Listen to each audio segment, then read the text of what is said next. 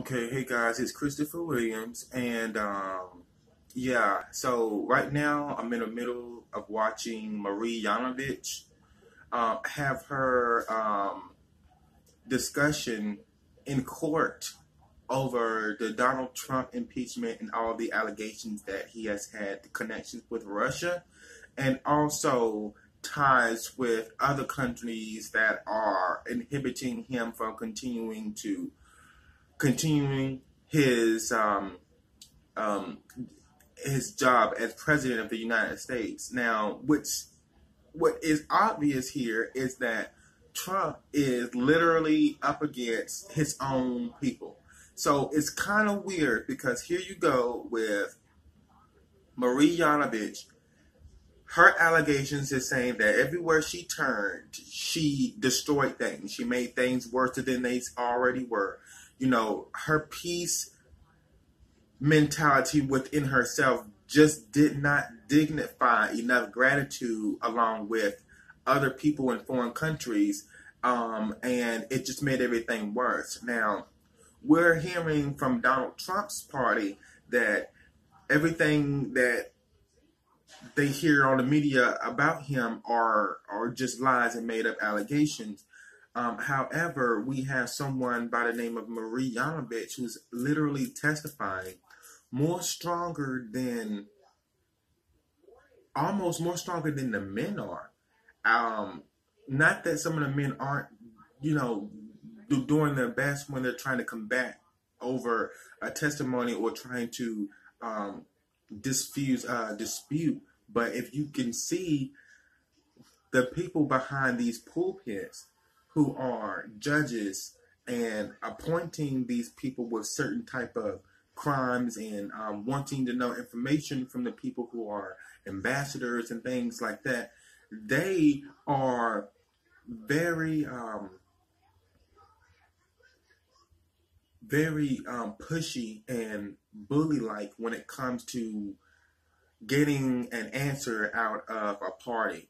Um, as you can see, um, as Marie Yovanovitch was was answering the questions, she actually, you can tell by when you look in her eyes or just by her demeanor, you can actually tell that Marie Yovanovitch was hesitant, but she was only hesitant to give a straightforward answer, not knowing what type of response may come from um, the guy that was appointing the questions. Now, as you can see, the person appointing the questions in court was actually um, his demeanor was more straightforward, and it, it, to me it seems like his demeanor was for um, more negative towards anyone who was against Donald Trump, trying to support him. Um, and I think that that kind of made her feel and the other men that was actually inside of the um of the court in the pulpit testifying, they felt some type of way. Also, you can tell because of the way of the demeanor that the the judge was answering the question. It was a little bit more. It was too much um, pushy and you know one sided. You can you may not he may not have said it, but you can look at him and demonstrate um, by the actions and the way he was answering those questions or asking the questions, excuse me, to the people who were in ambassadors and things like that. It was a little bit um like you better answer this like like there is no other option or why would you feel this way against Donald and you know it's almost like they his their the questions to the people who were were being answered um like um who were answering them, like uh, Marie Yovanovitch and the other people from the Democratic Party, it seems like they were being pressured into answering questions. And if they did not give an answer that was not um, liked by the person that's giving the questions, then red flags would be raised up. You know, I felt like there was some type of tension within the court system in that room. And there's more people who felt the same way of Marie Yovanovitch and the other people on her side of the party, um, they felt her. They there's other people that felt just like her as well, but they were not given that chance to testify in court. So, You know, the whistleblower took forever to come out, and there's only one reason why the whistleblower took forever to come out, and that's because, for one, they're getting second-hand and first-hand information that it could be third and fourth hand. I'm pretty sure it is because they're confused about where the information is coming from. But nobody was born yesterday, and we can believe allegations and we can't believe them, but whatever your heart tells you to believe, I'm pretty sure you know you're going to do it. And if it gets deeper and deeper, um, sooner or later someone is going to feel the same way, and it's going to be a problem because that's starting to weigh a little bit more than it should be weighing. However, I did find it way overly outstanding because there are so many people who are witnesses and so many people who believe that um, the system is corrupt in areas that it is and want to speak out, but fearing their lives to speak out because of the dangers it may cause them if they do tell the truth. That will inhibit someone from um, pursuing a job that they've kept for years. Now, Marie Yovanovitch, I'm not going to get too much into detail saying that, you know, somebody did this, somebody did that. All I'm going to do is connect the sides and have you guys put the pieces together yourself. Now, Marie Yovanovitch said that she's also been out there in uh, Ukraine for over 35 years. And what was odd was that all of a sudden she was told by not Donald Trump himself, but by other officials that worked for Donald, telling Marie Yovanovitch that she could no longer do her job out there in Ukraine, which she's been out there for 35 years. Remind you that she's been out there for 35 years. They've been having her do their duties. They've been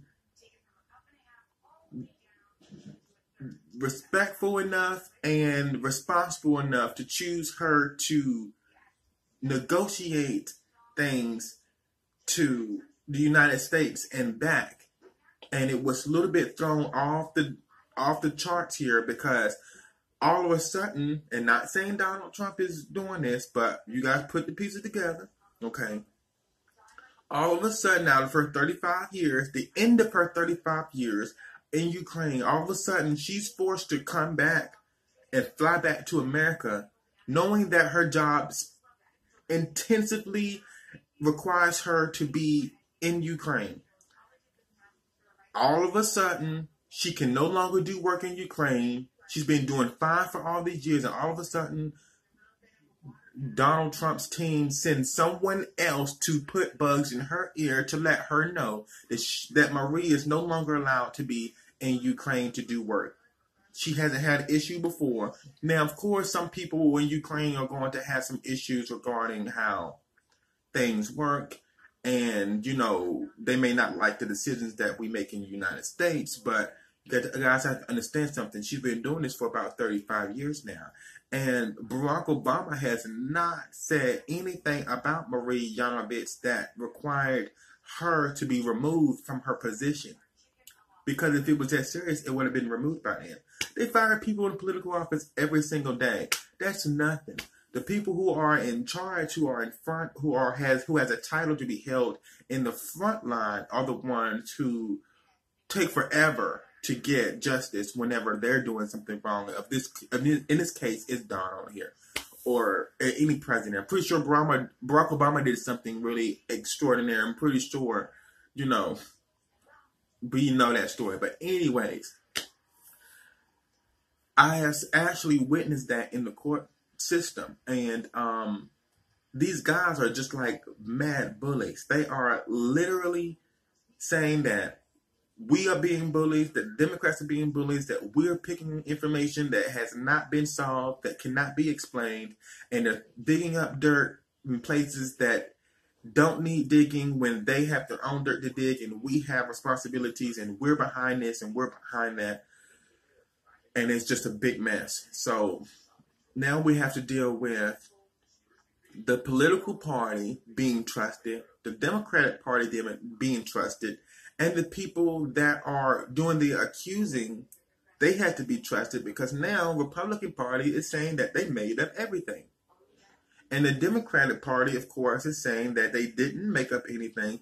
Here's our proof. And you guys are being bullies and continue continue to not accept the fact that we gave you proof of why we are in decision of why we're deciding to in, to do this impeachment, and you guys are just taking the rules and just taking the answers to the rules, the truth, throwing it out the window, and let the president do whatever he wants to do. Now, I'm not trying to pick sides and say I'm for this president, I'm for that president, blah blah blah.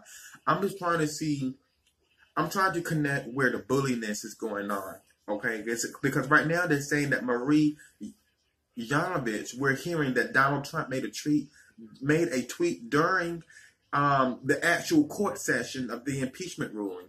And here it is with Donald Trump's tweet saying that she, Marie Yovanovitch, was behind this scandal the entire time, and she's making it seem like she's not the cause of any type of allegations or anything that caused corruption. And and she was behind everything and everywhere that she was placed from the United States to do service, she literally made it worse. Now that's what his tweet was during the, the session. And I'm not sure how you feel about that. You guys got your own opinion, but that's what happened. So do not do not say I said this and I said that. I'm just letting you know that you guys have to literally just start putting things together. Literally, just put them together because you got people who was really scared to make a stand to be to even people didn't don't even want to be labeled the whistleblower and didn't testify. Okay, so now you got all these other people who feel the same way, who they have truth that that they have dug up against Donald Trump, and some people don't have the truth, but they have information, enough information that's going to cause someone to be heard but it's kind of weird because all of a sudden, when Donald Trump gets in the office, no one wants to follow the rules. All of a sudden, some nobody is strong enough to say, "Hey, this person did this wrong." Nobody wants to show their face. It's now starting to come out one by one, little by little. The whistleblowers are speaking; they're just not coming all forcefully to the forefront to just expose themselves like that because they are not ready with the fact that Donald Trump may be as crooked as they think they is. His whole crew, they're thinking Donald Trump is, is as crooked as you, you can get it. And this is why I say that. It's because whenever something is going wrong, that the Trump Foundation is a part of, they always usually find a way to try to get back at a person for doing something. Now, as you can see, like I have not, I'm not trying to say that I'm I'm call, calling him a bully or calling him, um, you know, someone that you don't want to do business with. That's not what I'm saying. What I'm saying is, literally,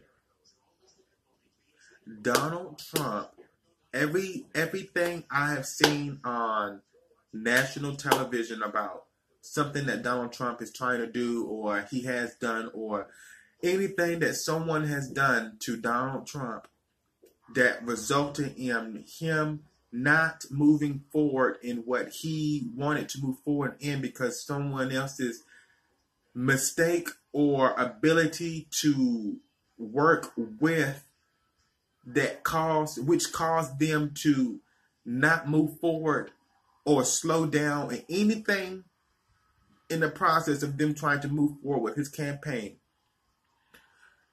He has literally, I have literally heard him threaten them. Not not in a bad way. Threaten them with their career or just threaten them in general. I mean, when I say threats, I hear people in court, like when Marie Yovanovitch was in court this morning or the guy that was before him, her, his name wasn't Mike. Um, and there was another guy before him, his name was um, Terry or or it was Tony or it was something, but um, he was definitely an ambassador, and um, he was told by one of the um, um, the court rulings. Um, one of the professional men there, supposed to be professional, um, but they told her and him they they was for the Democrat now. They the Republicans told the Democrat, you know, that and it makes and that's also is kind of funny too. Is I see some well, I see Democrat and Republicans on the pulpit trying to do something, trying to get um, you know information from whoever they're needing information from. So I can't say that, but mainly of the people that are answering the questions to the Democrats were Republicans, and the mainly of the, of the people who were answering, were asking the questions were the ones who were Republicans, who the ones who I feel were literally working with the Trump Foundation because they showed more favoritism through body language and speech when they were talking. And um um no. Um and and that that was it. So so yeah, um, I'm sorry I got interrupted again. Um, but what I was saying, I'm trying to tell you, do not listen to anything from the media unless you guys can read people's minds and read people's like unless you can put pieces together do not listen to the media anything unless you are because some people like literally just just don't read between the lines and they don't see because of all this information that's out there for them to just gener- generate in their brain the first time they hear it. It's something that big is going to make them like not even see deep in the picture because they're getting a deep picture um, placed in front of them that's not even should be you know labeled that. So, um, so that that's what I I've really encountered, and and you know I've also encountered people um, the people that was in court, um, letting the people know if you do make this decision or choose not to say this or testify, you do realize that you're going to be in really big trouble, or you do realize that you're going to be, um, um, you're going to have to pay for your consequences. Now, for you to say that to someone who is entitled to do a certain type of job, which is report and give certain type of news or or information to someone regarding your position or someone else's position, and you're told that if you're not giving that information up, then this is what the consequences are. But yet, the person that's giving you the information is not doing their job correctly while they're giving it to you. So why would not be why would that not be considered bullying or trying to talk someone into thinking another way or talk someone into not giving the information that this needed to be given out there because people are being that clever and trying to use that craftiness right there to try to generate a different idea when the idea is not even dealt with. So that's what happens whenever um, you deal with people who are working under the table trying to do something else when something else is literally not coming up to the surface, but you have all this information and tensions is being raised up, and then it's like you're following the law, and then someone else has all the rules and the answers to um, changing this story around into making it better, but therefore you're going to a higher power to try to consult this power, but this higher power is supporting this higher power because they're saying you don't have enough information, but you just show them all the information and no one else wants to dig deep down and surface. So it makes you think that they're working together and they're doing something behind the table because once you come into court and you have all the answers lying in front of you and you have you know your rights and they know their rights and they're answering you questions that they should be trying to figure out themselves because they're in that position. And then you see what I'm saying? That's what happens when things are crooked and no one else believes the system because it hasn't been used the right way. So those that there you have it. You know, Marie Yovanovitch you know, she she did her thing. She did not back down. She continued to stand her ground. She spoke to what was right. If something was going to seem silly or sound silly as a, a answered question, let make let it be what it is. Just let it be sounding silly. Let it may look, you know, like something else. But it was the truth coming from Marie Yovanovitch. And they did not expect that coming from her, especially from a woman. That's why I'm so proud of her. They came from a woman who who spoke clearly, who made no regrets, who didn't make any bad remarks. She kept everything honest, and it was everything that they every question that they asked her, she gave them an answer, a a legit answer, and they was not ready for it. They literally tried to harass her and make her do something totally out of her way of her job by answering some questions that had no benefit to the fact that they were in a position that required them to handle a situation and which they did not do because they uh, accepted the fact that every information that they were given to the testimony was to tear down the president of the United States, which had nothing to do with them doing their job after they heard their testimony. They say that they've been getting their answers and information from fourth hand and third hand and second hand, and no one had enough information, which is so weird because I highly doubt that anyone would be in court without information that is not obtaining to the certain type of situation and have accurate information, but yet it's not justified because the person that is supposed to be the justifier doesn't feel like your information is justifying enough for us to impeach or fire someone, which is absolutely weird because who would waste their time who's been in the Senate and working with convictions and and things like that who would waste all their time and go to court and did not win and not have any type i'm trying to figure that out so now i'm, I'm looking at this deeply and knowing because I've been through that same situation before. I've been to a situation before where I've dealt with a person who was supposed to be in charge and they were breaking all the rules and then when you gave them insights about what you witnessed, about what you've seen, which was unfair, and you took it up to the head person for them to resolve the issue and then that person doesn't resolve the issue because that person doesn't know why you're attacking this person when you clearly just showed this person why you felt this way about this person being a you know and and it's still like what else do you want? You just told me to show you everything and i showed you and now you're telling me well why? So that is how the system still works today. You guys can figure it out on your own. I see you guys later